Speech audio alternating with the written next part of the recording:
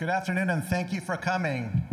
Uh, my name is Matias Valenzuela. I'm the director of the Office of Equity and Social Justice here at Dr. Martin Luther King County. Uh, it's a pleasure to have you here. Um, and this is just a wonderful space. And, uh, you know, the question I was just asking myself about an hour ago was whether we were going to get enough bodies in here. And now we've actually had use the upstairs and we have using some of the overflow uh, capacity. So that's great. Um, we will be asking people to, to come during the conversation cafe part of the program if they can try to make their way down, and we'll also uh, send, try to send some uh, conversation hosts uh, upstairs too. So again, thank you for coming. Uh, it's a special year this year. We're not only marking Dr. Martin Luther King's birthday, but also uh, 50 years since his uh, assassination. It's a day to remember our county's namesake, but it's not just about reflection. We all know we can best honor his legacy by fighting for civil rights, equity, and social justice every day in our professional life and in our personal lives. I can say that I am very proud to work for Dr. Martin Luther King County that has made equity and social justice a top priority and central to what we do.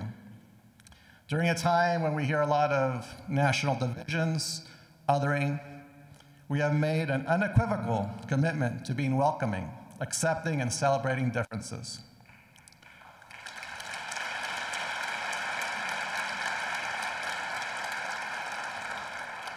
And it just doesn't stop there, since we are committed to the harder work of addressing the root causes of problems.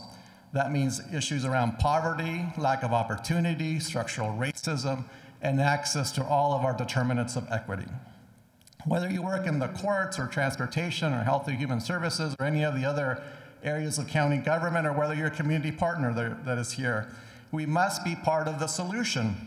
Because sadly, if you're not working to improve our inequities, and there are many of them across all areas, then you're actually contributing to the problem. And the status quo is not going to cut it. Dr. Martin Luther King himself epitomizes the changes that we are now trying to do as King County government. It's both personal transformation and transformation of the conditions in our community. So with that, I want to acknowledge uh, the great representation we have from our elected officials today. Um, and if you could hold the applause till the very end. Uh, besides two of our speakers, uh, Executive Dow Constantine and Council Member Larry Gossett, we have Council Member Rod Dembowski, we have uh, Elections Director Julie Wise, we have our Assessor John Wilson, uh, we have our, our Sheriff, Mitzi, uh, Johanknecht. Uh, we have our uh, Prosecuting Attorney, Dan Satterberg. And we have a council member from uh, City of Burien, Austin Bell. So let's thank them for being here.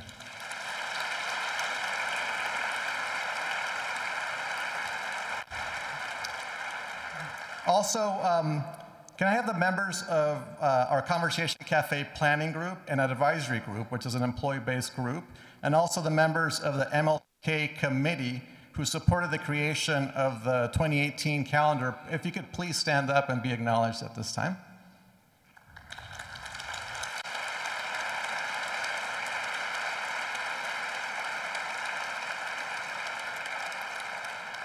You'll be hearing more about this, but we're going to be doing our first conversation cafes on race, and you'll be hearing a lot more about this during 2018, which is a partnership between the Office of Equity and Social and Alternative Dispute Resolutions, working with this employee-based group that I mentioned. I want to also uh, call a special thank you to Tanisha Walker, who's been the project manager. So more to come on that. Next speaker is going to be our uh, council member, uh, Larry Gossett. I want to introduce him uh, uh, here. Um, briefly, and it's very hard to keep his introduction brief, but besides being a longtime King County Council member and a champion for civil rights, uh, Larry Gossett earlier in his career was the longest serving uh, executive director of the Central Area Motivation Program, the oldest anti-poverty organization west of the Mississippi. Uh, Larry Gossett is also the sole surviving member of the Gang of Four. It's an unprecedented alliance uh, between Black, Native, uh, Latinx, and Asian Pacific Islander friends and partners working for social justice. And in talking with Council Member Gossett recently, this is just something new that I learned, uh, that he and Roberto uh, Maestas, we were two of the members of the Gang of Four, along with Bernie Whitebear and Bob Santos, they are part of the University of Washington's Wondrous 100, so a group of the most influential UW, UW alumni. So go dogs and go um, Councilmember Gossett. So with that, Councilmember Larry Gossett.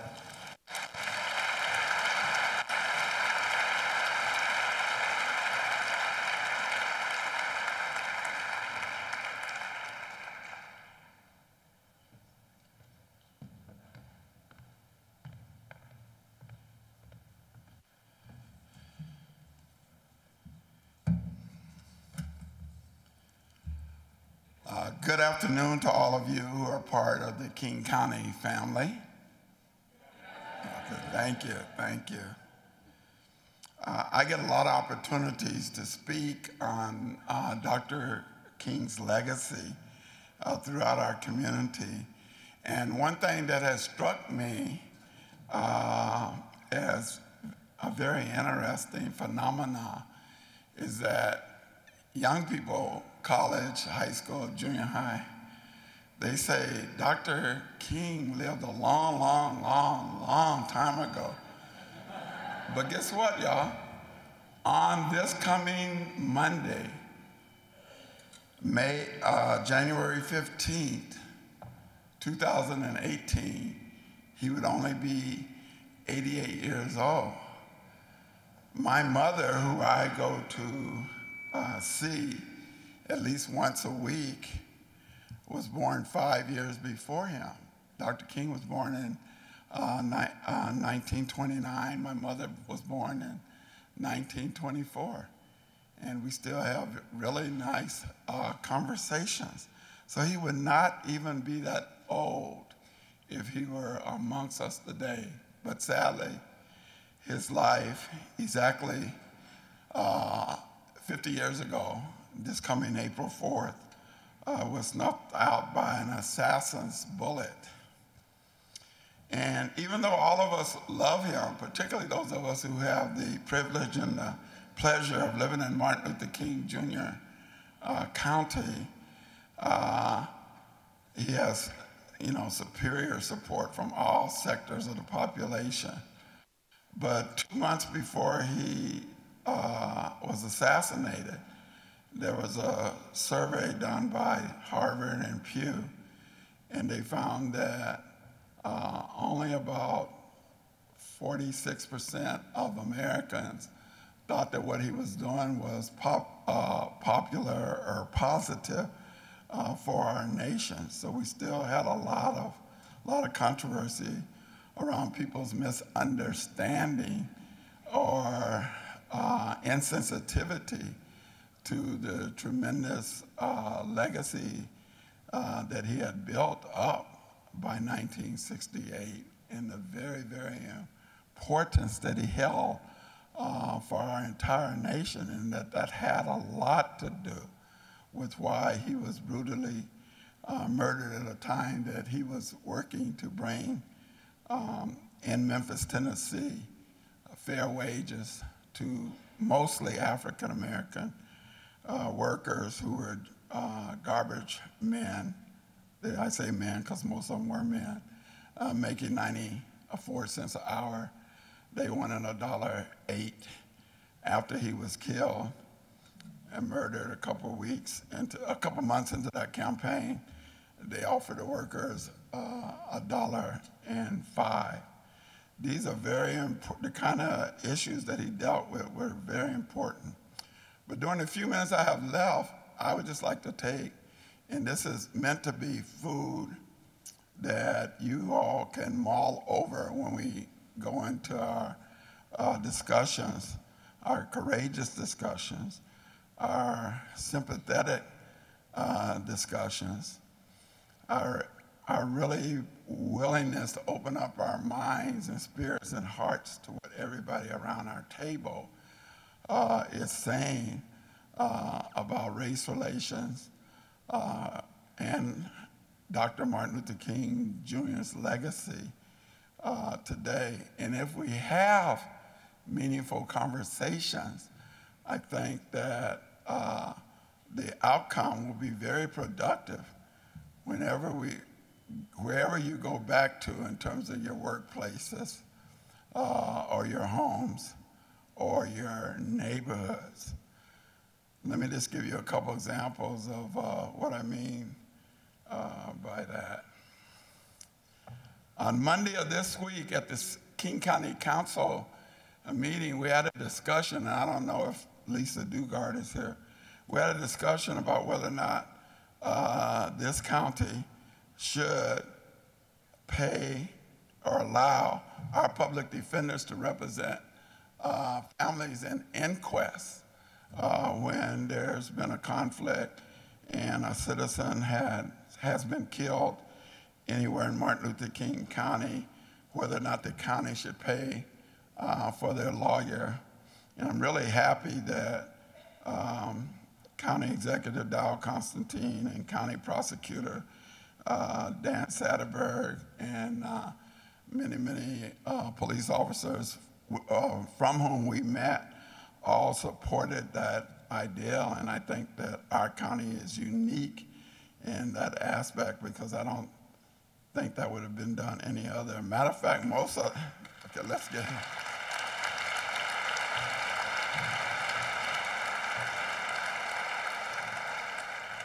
most other states do not even uh, make inquests uh, uh, important component part of the system that they have for dealing with uh, killings by government officials. The other uh, example I'd like to mention before I sit down and bring our esteemed county executive up has to do with Colin Kaepernick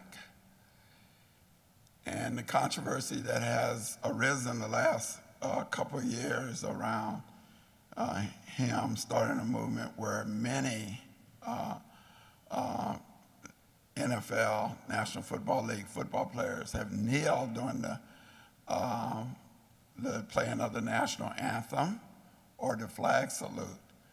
And the first time it happened with just him involved, I really liked the way the press sought him out and interviewed him, interviewed him. But starting a couple months after that, the press, in my estimation, stopped even reminding folks via TV why it was that the kneeling was taking place. That Kaepernick and uh, mostly other African American football players saw this as a way that they could uh, use the positions of high esteem in athletics to force people to think about and do some of the kinds of things that you all are about to do around the tables. Uh, think about the impact of the relationship between African Americans, particularly African American males, and the police, and to talk about economic inequality uh, as it uh, exists in our society.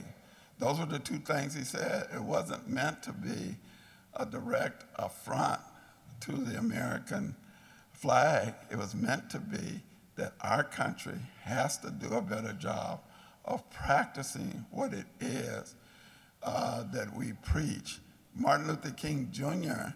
was especially good at calling upon the great documents and creeds that symbolized American democracy in terms of what we would like for it to be, and then using that to inspire and motivate people of all races to come together and try to uh, get us closer to uh, the promised land uh, that he uh, uh, spoke of. Even his great speech in I Have a Dream in 1963, he said that we've come to this great city to collect a debt long overdue.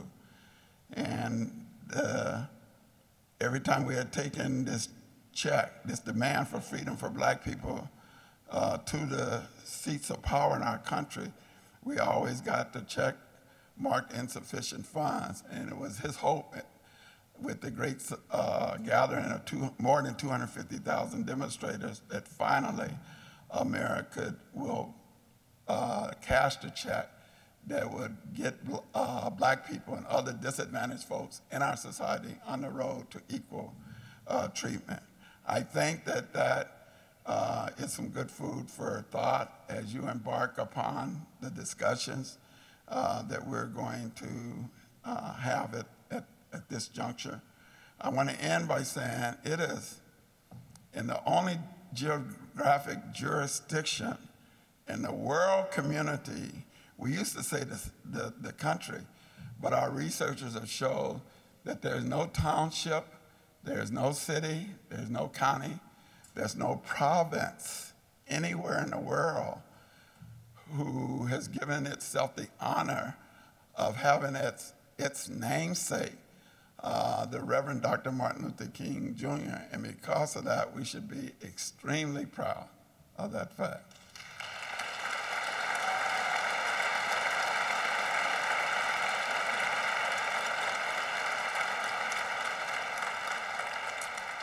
So with the challenge I've laid out to you, I want to take a moment now uh, to bring up our esteemed and honorable King County Executive, Dow Constantine.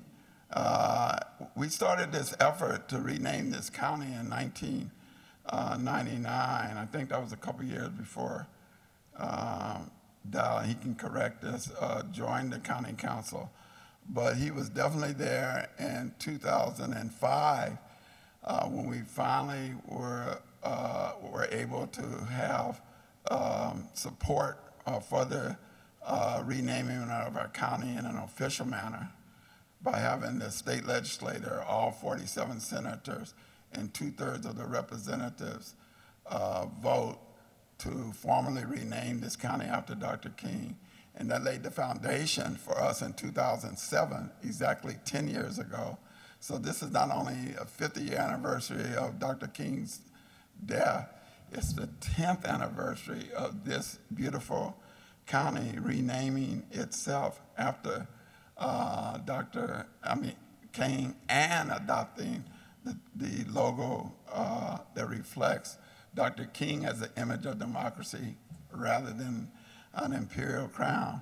From the get, Dow supported that effort that uh, we and thousands and thousands of people throughout our county, through signing of petitions and calling and sending of hundreds of letters, uh, Dow came forth immediately at the beginning of the struggle and said that he would uh, support it, as well as many other uh, council members and elected officials through and reverence throughout our county. So I really appreciate that uh, about them. He's also uh, one of the architects of our equity and social justice commitment that was adopted by the county council and proposed to us by the county executive several years ago that forces us in the adoption of every piece of uh, important social policy or new legislation, we consider the impact that passage of it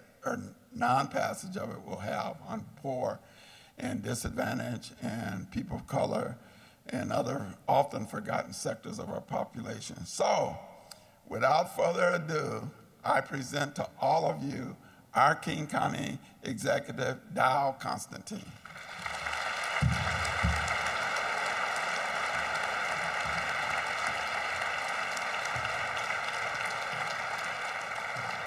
Thank you very much, Councilmember Gossett, and uh, welcome to all my fellow employees, officials, others. Uh, thank you for joining us today as we honor the life and the work and the legacy of Dr. Martin Luther King Jr.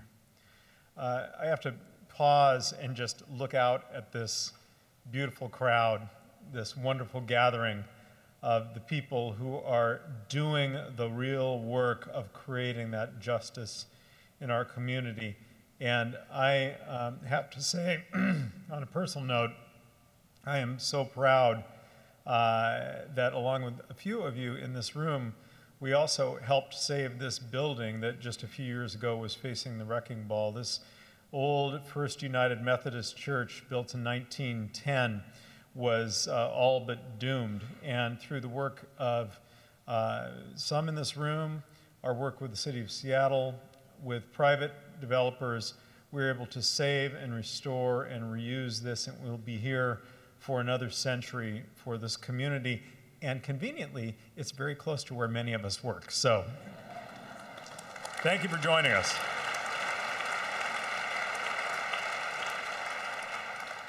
You know, we all wonder, uh, I think, at key points in our national discourse as we hear what's going on, what would Dr. King think of the times in which we live? What would he think of those who say they want to make America great again? Especially given that the most common response when you ask when exactly is it that uh, America was great is the 1950s. The 1950s, a, a time of plentiful industrial jobs, and also segregated schools, and also segregated public accommodations, and also a theoretical right to vote that in practice was denied to millions.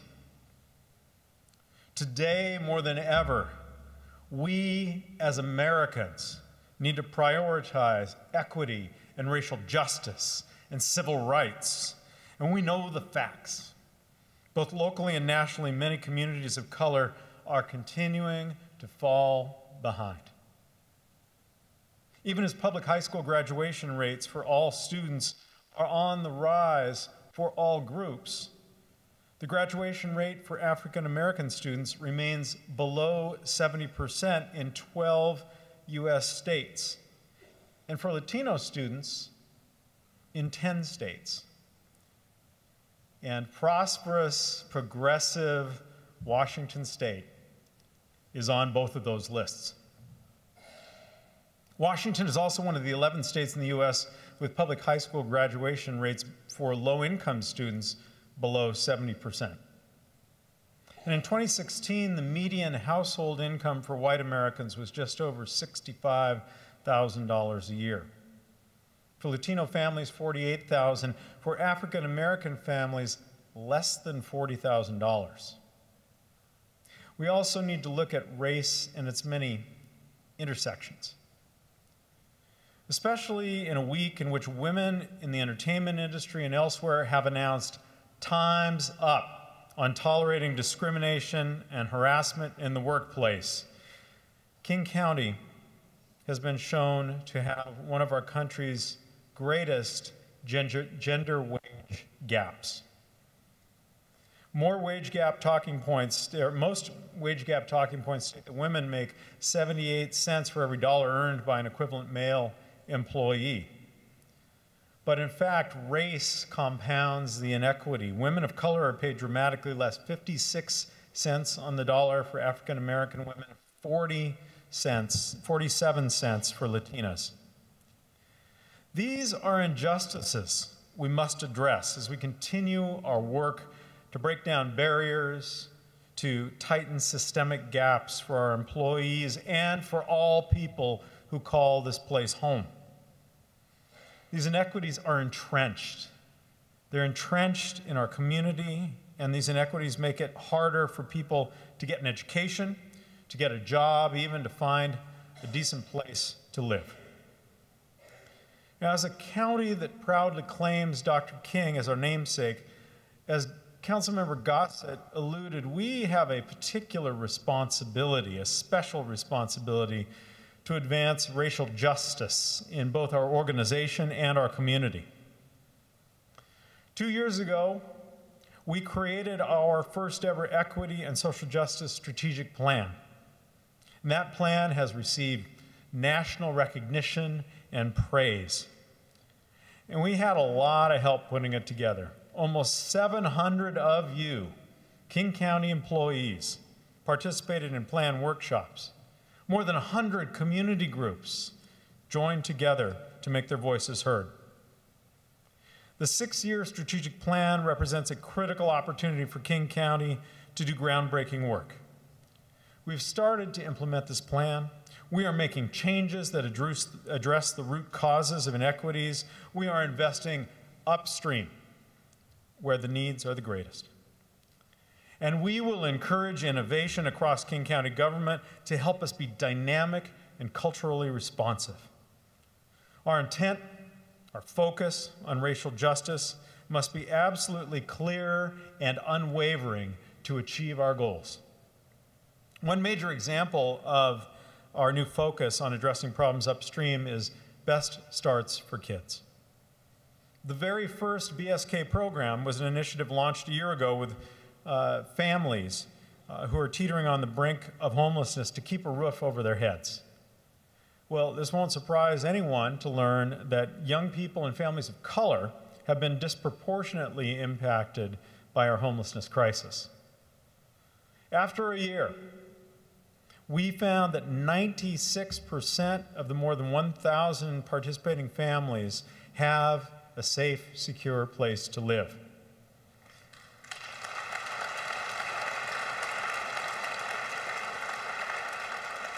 That's some 3,000 people who are housed today across King County who otherwise might not have been. The majority of people who have been served by this program are people of color, and about half are African American. That's one reason why researchers at both MIT and Notre Dame are studying this initiative as an effective way to prevent homelessness. And I'm proud of how we have an explicit racial equity lens on this work.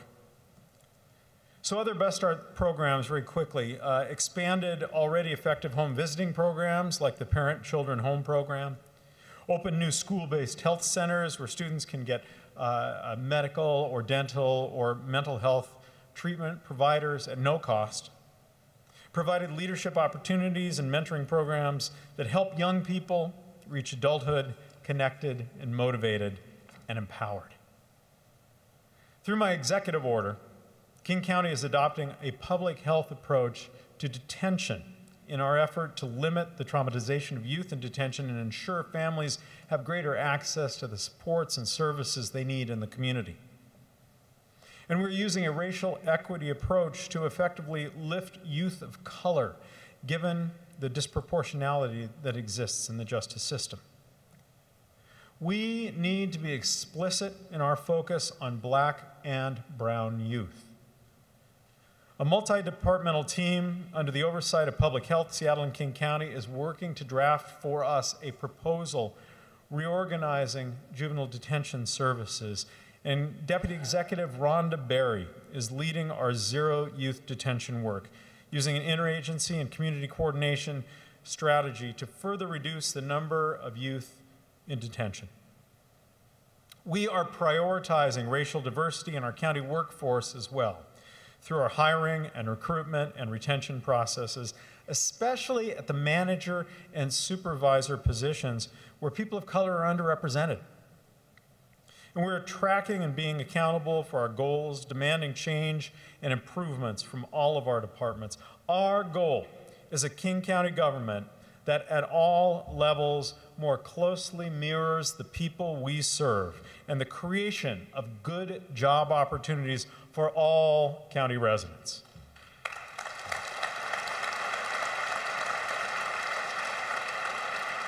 And in all of this, we rely on you, our employees, the best innovators, and the champions for equity.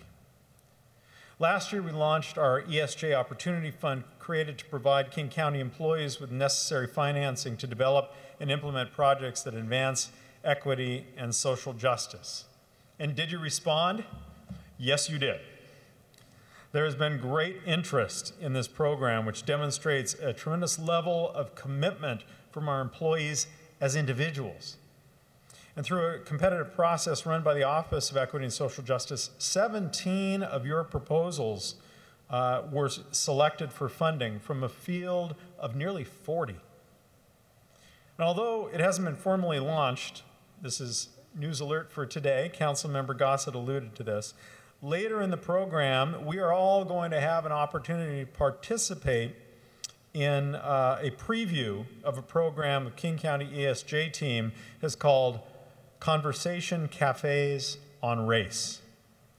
I'm excited about this because as we celebrate Dr. King's legacy, as we celebrate our commitment to equity and social justice, this is going to give us an opportunity to really begin to bring our ideas and creativity and vulnerability to the table to move our agenda forward and not simply to discuss what we believe in in the abstract. Our goal is to normalize conversations about race and racial justice, not just as part of MLK Day, but part of the fabric uh, of who we are and how we want to work and relate to each other. The conversation cafes on race will encourage and promote real and meaningful conversations and interactions in the workplace and among colleagues, build a sense of belonging and community within departments and agencies across King County, and create a space where employees can change or engage in these conversations in the workplace without fear of retaliation or ridicule or isolation. As an employee of Martin Luther King County, no matter what it says in your job description, we want you to have the tools to participate fully in this collective effort to create the long term systemic changes this nation needs to be truly what it can. I believe we have the will and we have the means in this region, in this county, to create different outcomes than what we see in the national arena. We can create a King County where all people, where every child growing up here has the opportunity to fulfill their potential, where the human spirit can genuinely flourish, and where the promise of a truly great America can be made real for all. Thank you.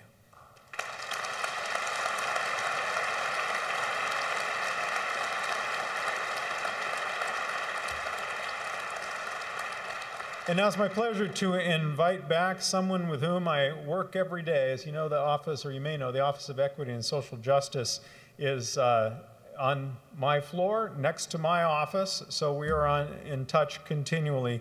The director of King County's Office of Equity and Social Justice, Matias Valenzuela.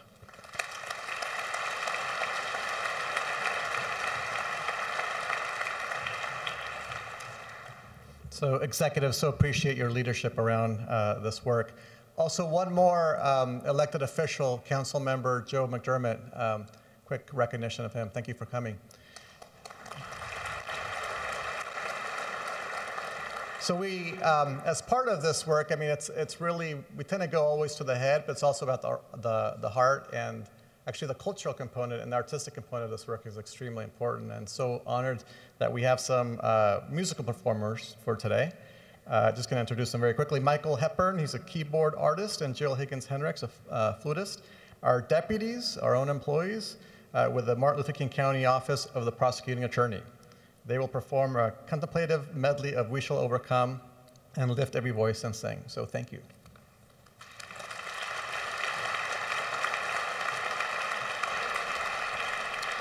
Good afternoon, everyone.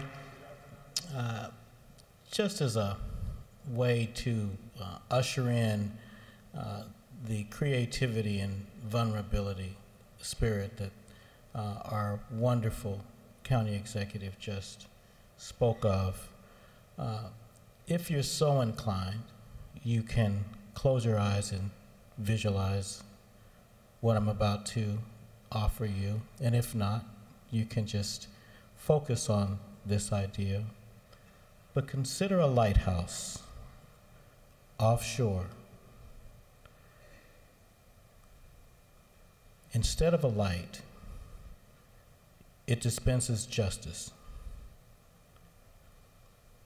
The seas, the seas are stormy, the weather is rough. Each and every one of you is a lighthouse. Whether you are a dignitary here or a staff person, you dispense justice to your coworkers, to the people of the community, to your constituents. You help guide them to outcomes that are just.